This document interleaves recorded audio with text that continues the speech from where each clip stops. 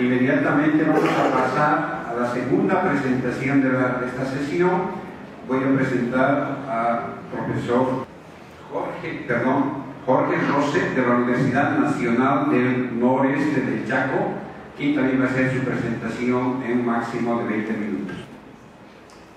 Bueno, eh, en términos de la, de temática que voy a tratar de conversar con ustedes sobre este tema de disciplinaridad, tomé el punto 4, donde Esteban se pregunta tomé el punto 4 donde en el programa nos preguntamos cómo estudiamos las luchas por la democracia hídrica en América Latina y el Caribe.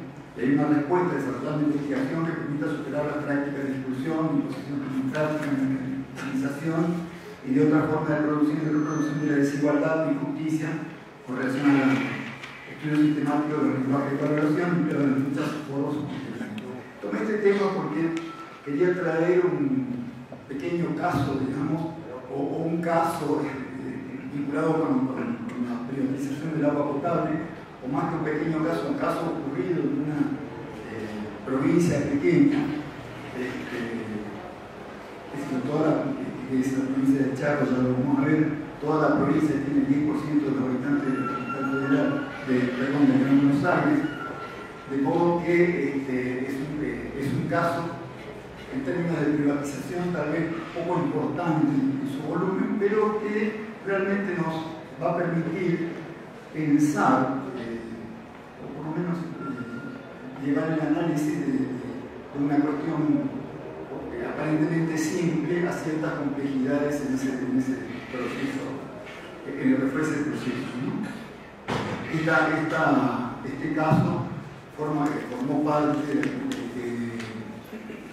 de, una parte del estudio de, de, Walter, de, la utilización del agua potable, este, que se desarrolló bajo la dirección de Esteban, y para el caso de Argentina, digamos, se trabajó centralmente en Buenos Aires, pero en, en, este caso voy a desarrollar, incluía las provincias de Chaco y Corrientes, de, Chaco y, Corrientes, sus capitales, la, la provincia de Corrientes y Corrientes, de Chaco Resistencia, están 25 kilómetros, donde se produjeron dos procesos bastante opuestos, este, y polarizados en términos de eh, privatización de, agua.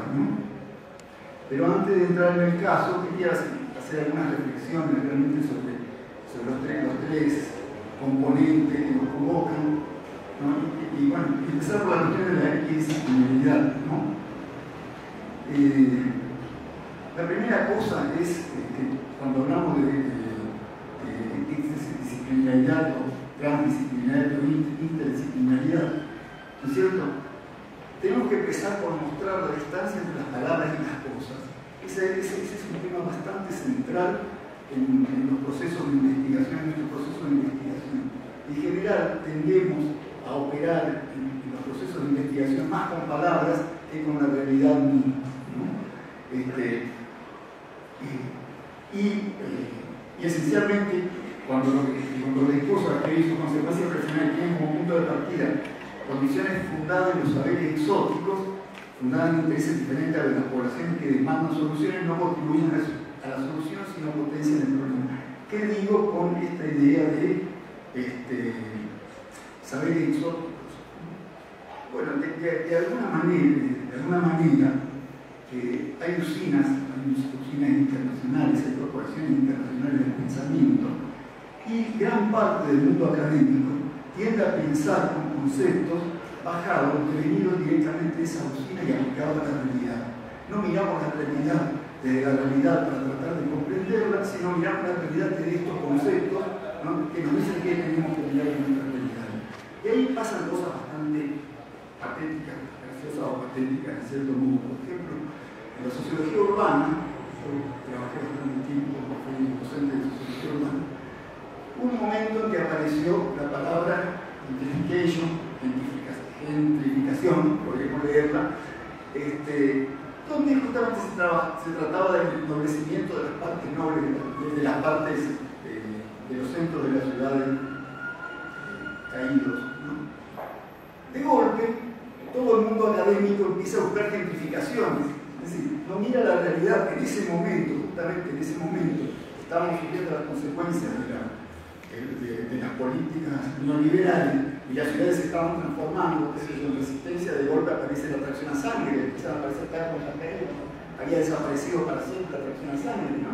Los fenómenos de, ese tipo, sin embargo, que buscaban gran cantidad de los investigadores conocidos buscaban gentrificación en, las distintas ciudades.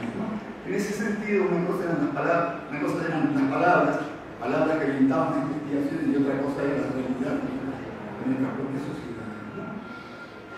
Eh, la otra cuestión, eh, acá el colega que me hablaba de ciertas dicotomías. Yo creo que justamente quiero traer algunas dicotomías que tienen que ver con, los procesos de pensamiento en los que estamos, en los que estamos anclados justamente a partir de, quizás en, cierta, parte a partir de, de, las barreras disciplinarias. ¿no? Uno de ellos es eh, esta idea que nos trae Norberto, que nos desarrolla Norberto Elías, cierta, cierta que me he puesto palabras inclusive, que es pensar la sociedad o desde, este, desde los estados de reposo o pensar las sociedades desde, las transformaciones permanentes, donde el único permanente es la transformación, dice Roberto Es tan así, dice que todavía no hay una palabra para describir los procesos de transformación de nuestras sociedades. porque cuando decimos eh, cambio, estamos pensando que hay, hay algo anterior establecido que cambió.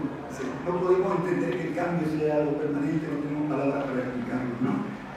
Esto trae, esto digamos tiene que ver, tiene directa consecuencia de una cuestión que, es, que tiene que ver también con la cuestión fundacional de la sociología, que es pensar las ciencias sociales en defensa del orden, en defensa de un orden determinado, en la preocupación de sostener un orden, o pensar las ciencias sociales en la cuando pensamos en movimiento, en la preocupación de impulsar sus transformaciones. Es decir, y esta cuestión eh, no es una decisión, como diría Rolando García, no es una decisión que tenga que ver con, con alguna, una cuestión eh, estrictamente teórica, sino que es una decisión ética. Es decir, pensamos que esta sociedad, que estamos viviendo, el orden de esta sociedad, tenemos que reproducirlo o pensamos que este orden tiene una serie de elementos perversos que tenemos que transformar. Eso nos corta el ámbito del pensamiento sociológico, una dicotomía que no podemos perder de vista este, cuando, cuando, enseñamos sociología o cuando investigamos problemas sociológicos. En,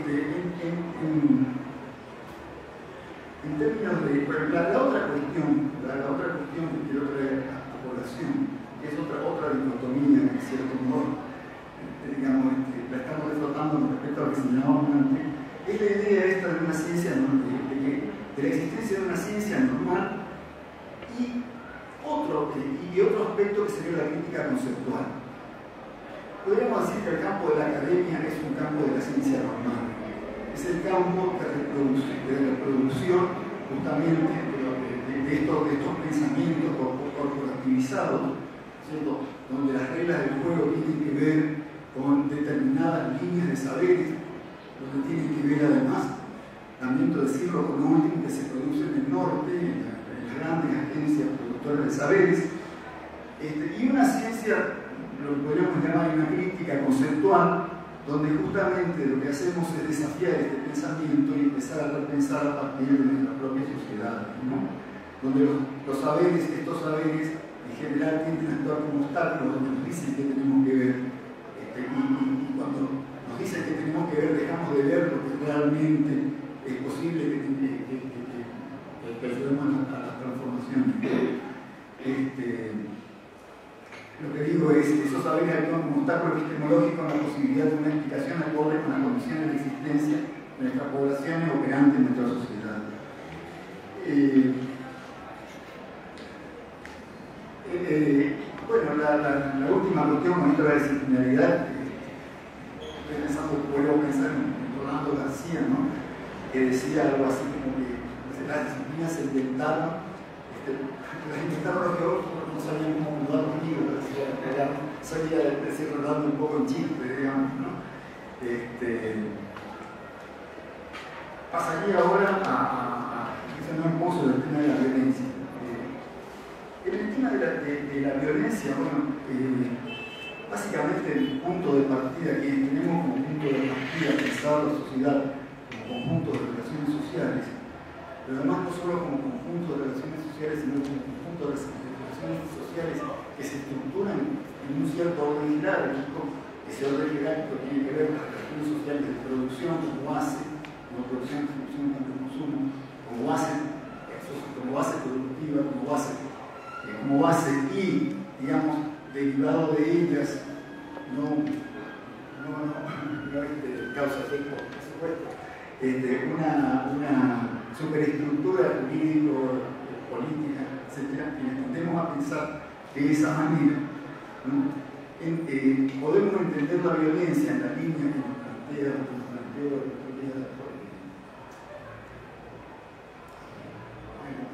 Esteban, eh, de, de, sacar la cuestión ética de la violencia y pensar la violencia de una cierta materialidad. ¿no? La violencia es un operador de la transformación de las relaciones sociales. Si pensamos en un operador de las relaciones sociales, desaparece toda cuestión ética porque en realidad la violencia puede transformar relaciones sociales en términos, de, sustento del orden o en términos de transformación a los efectos de, cambiar situaciones perversas de, este orden. La violencia es un operador, como, operador, digamos, como operador, eh, la violencia opera los procesos de destrucción y reconstitución de relaciones sociales. Eh, refiere, digamos, la mirada central es la destrucción de relaciones sociales. Todo el tiempo, digamos, eh, estamos, se están destruyendo relaciones sociales. Una ley de, de, de puede, puede destruir, puede destruir identidades, puede destruir este, formas productivas, digamos, simplemente sin ser enunciada y candidato. Entonces, la, la, esta, violencia que no se ve, la violencia estructural, eh, eh, digamos, es tapada o es poco vista a partir de las violencias noticiosos. En resistencia en la Argentina también eso se llama todo noticias, tenemos otro que prácticamente eh, toman uno, dos, tres crímenes y nos pasan 50 veces por día. Entonces, este, parecía que hay 50 crímenes este, lo pasan desde una perspectiva, desde otra, reportaje, etc. Digamos que la realidad es No se puede salir de, la casa porque te asaltan, te matan, te violan, etcétera, etcétera, etcétera. Entonces digo, esa es la violencia que se observa, esa es la violencia concluida, esa es la violencia que está creando este, una, otra forma de violencia que está nuestro cuerpo que es este, pero la violencia también constituye las relaciones sociales. Un conocido filósofo decía la violencia es la parte de la historia. Este, bueno, eh, señalo acá también es la construcción de relaciones sociales, particularmente aquellas que involucran en diversos aspectos del empleo del poder, tanto en el ejercicio activo de la soberanía como en el interior de las relaciones sociales, control y sistemas de poderes o la dinámica de los movimientos de masa opera en todos los ámbitos, en todos los ámbitos de, la producción, pero también opera en los ámbitos de la superestructura En ese sentido, digo, este, estas dos facetas de la violencia del y del observable, y por otro lado, este, justamente, eh, eh, de nuevo, porque si volvemos a ciertas disciplinariedades, eh, ciertas miradas de procesos reales, no hacen sino ocultarnos la violencia que esos procesos, esos procesos involucran. ¿no? Decía recién, una ley una ley que pasa, una ley que Esa ley puede producir un conjunto de desplazamiento, puede producir destrucción de identidades, etc. Y desde la perspectiva jurídica,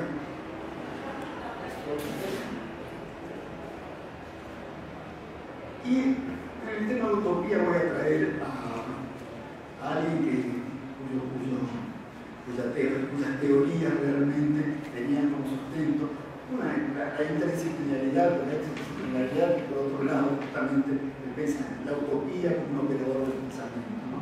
Les traigo a Enrique Lefebvre.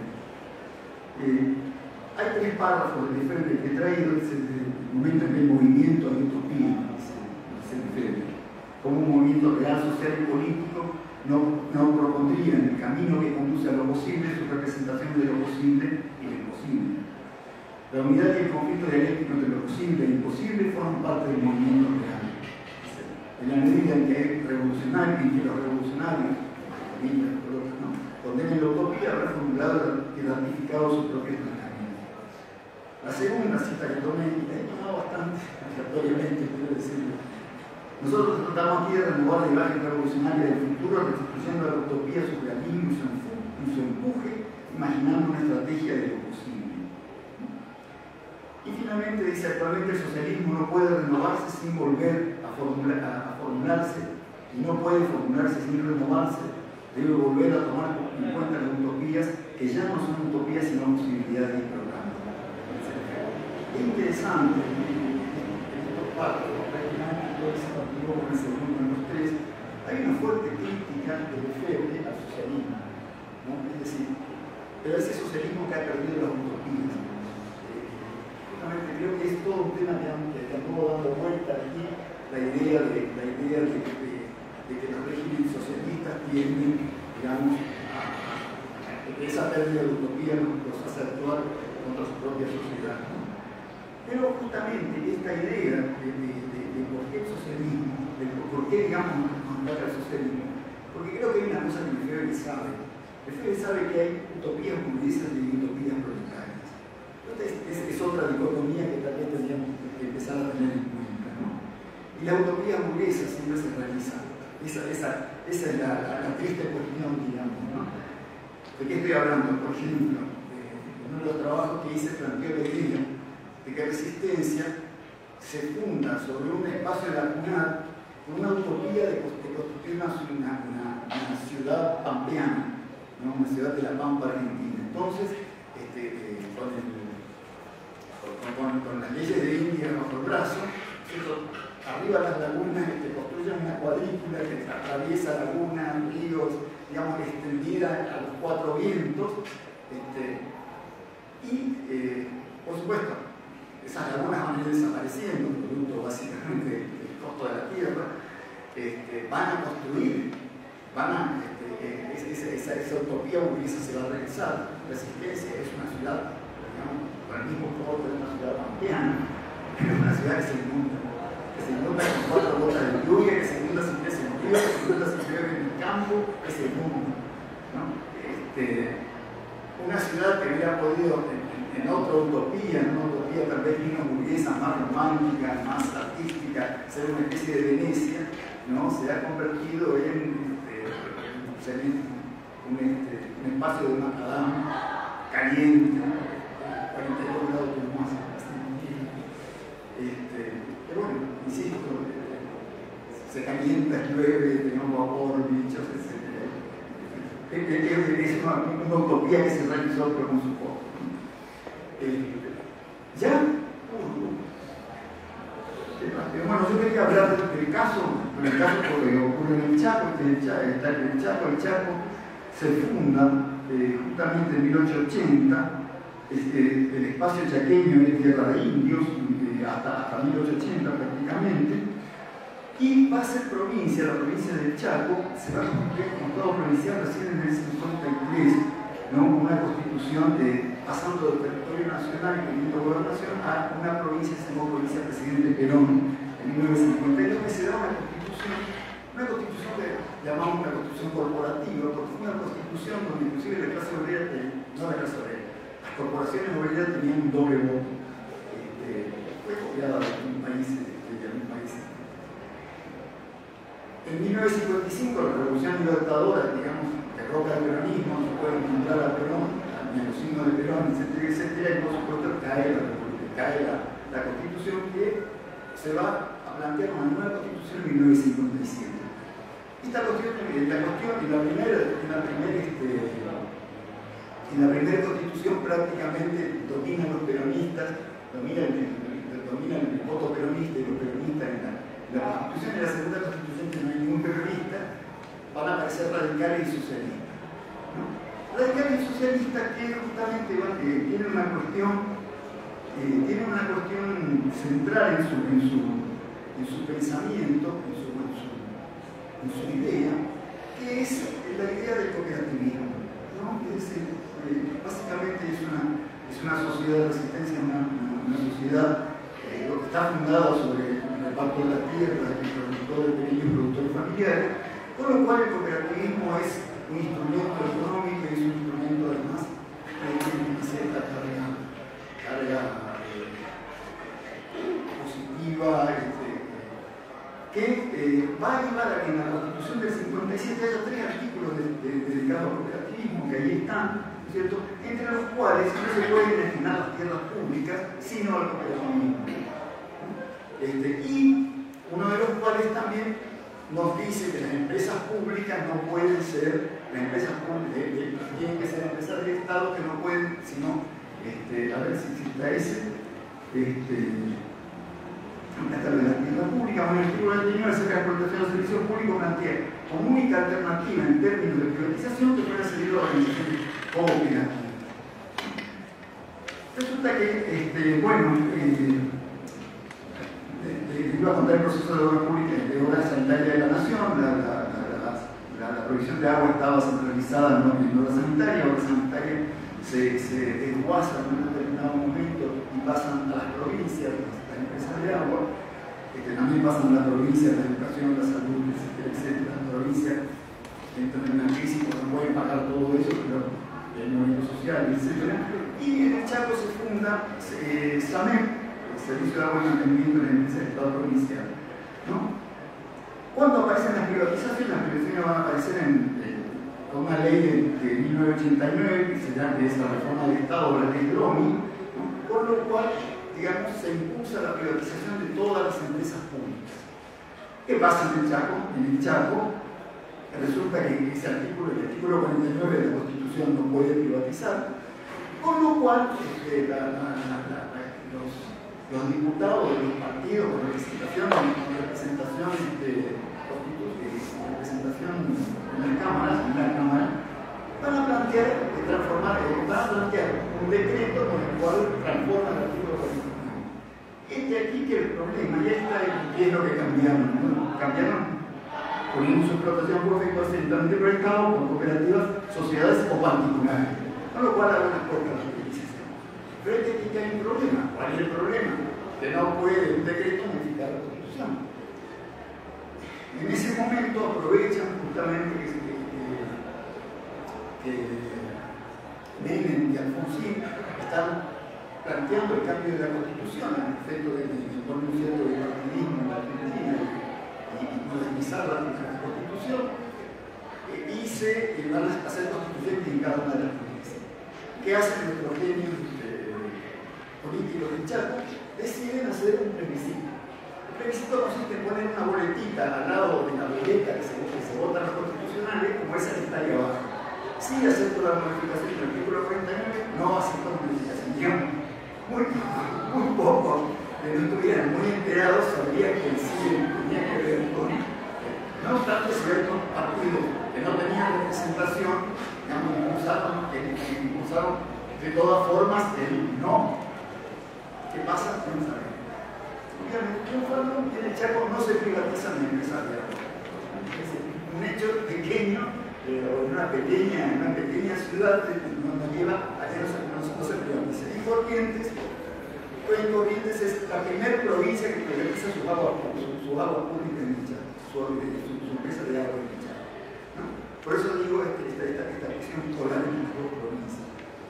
Bueno, uno podría mirar un hecho público, bueno, se fue una elección pero en realidad lo que planteamos, lo que planteamos, lo que planteamos desde una perspectiva un poco menos disciplinaria, un poco más crítica, es decir, un poco más este, no atada a otro pensamiento, es que estamos en presencia de una desobediencia de Estamos en presencia de un pueblo que ha desobedecido, que ha desobedecido, digamos, estas órdenes que brotan de una economía largamente construida de los partidos políticos los partidos políticos estaban seguros de que. No, no ganar. Tenemos todo el pueblo cautivo. No, no señores. En el Chaco los chaqueños dijeron no. ¿no? Triunfó el no y no se modificó el artículo. Por supuesto, hubo presiones, hubo presiones de la nación, hubo presiones por todos lados para la privatización, hubo créditos que no se dieron, etc., pero el Chaco no se privatizó. ¿no? Eh, esta, cuestión, sí, esta cuestión de la desobediencia de vida, digamos, la traigo justamente de, del pensamiento de Juan Carlos Marín, que fue el quien este, impulsa en el proceso de Alas de Chile, impulsa, este último, sino el anterior, impulsa la idea de que los científicos sociales debemos trabajar, debemos trabajar los efectos, digamos, de combatir las formas de obediencia, de, de, de, formas de, de obediencia a órdenes inhumanas